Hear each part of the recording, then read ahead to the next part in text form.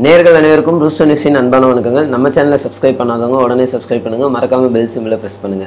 மேற்கு வங்காளத்தோட தலைநகரான கொல்கத்தால அலிப்பூர் அப்படின்ற பகுதியில் இருக்கக்கூடிய மேஜர்ஹட் ரயில் நிலையத்தையும் பெஹாலா அப்படின்ற நகரத்தையும் இணைக்கக்கூடிய மேஜர்ஹட் பிரிட்ஜ் நேற்று செவ்வாய்க்கிழமை செப்டம்பர் நான்கு ரெண்டாயிரத்தி பதினெட்டு மாலை நான்கு நாற்பத்தைந்து மணி அந்த டைமிங்ல வந்து இடிஞ்சு விழுந்துருச்சுங்க.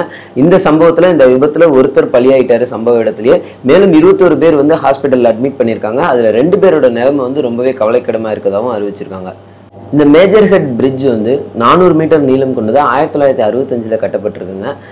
ரயில்வே ட்ராக்கை கிராஸ் பண்ணுறதுக்காகவும் அது பக்கத்தில் இருக்கக்கூடிய கெனாலை கிராஸ் பண்ணுறதுக்காகவும் கட்டப்பட்ட இந்த பாலம் ஆயிரத்தி தொள்ளாயிரத்தி அறுபத்தி அஞ்சில் கட்டப்பட்டிருக்கு.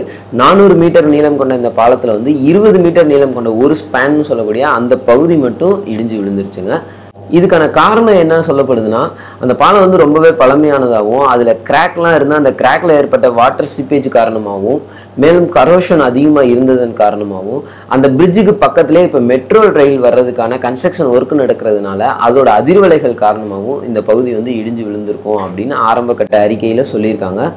இந்த சம்பவத்தை பற்றி வெஸ்ட் பெங்காலோட சிஎம் மம்தா பானர்ஜி அவர்கள் சொல்லும்போது தான் டார்ஜிலிங்கில் இருக்கிறதுனால உடனே சம்பவ இடத்துக்கு வர முடியலனும் அதில் உயிரிழந்தவருக்கு அஞ்சு லட்சம் ரூபாய் சன்மானம் தரப்படணும் அதில் காயமானவங்களுக்கு ஐம்பதாயிரம் ரூபாய் வரைக்கும் சன்மானம் தரப்படணும் அறிவிச்சிருக்காங்க. மேலும் அந்த இடத்துல இப்போ இன்வெஸ்டிகேஷன்லாம் அப்புறம் பார்த்துக்கலாம் ரெஸ்கியூ ஆப்ரேஷன்ஸை வந்து ஃபஸ்ட்டு பண்ணுங்க அப்படின்னு உத்தரவிட்டிருக்காங்க. தேசிய பேரிடர் மீட்புக்குழு வீரர்கள் தீயணைப்பு படை வீரர்கள் லோக்கல் போலீஸ் மற்றும் ராணுவ வீரர்கள் வந்து மீட்பு பணியில் ஈடுபட்டிருக்காங்க. பிஜேபியை சேர்ந்த முகுல் ராய் இந்த சம்பவத்துக்கு முழுக்க முழுக்க வெஸ்ட் பெங்கால் கவர்மெண்ட் தான் பொறுப்பேற்றுக்கணும் கவர்மெண்ட் ரொம்ப அலட்சியமா இருக்காங்க அப்படின்னு சொல்லி தகவல் கொடுத்துருக்காரு.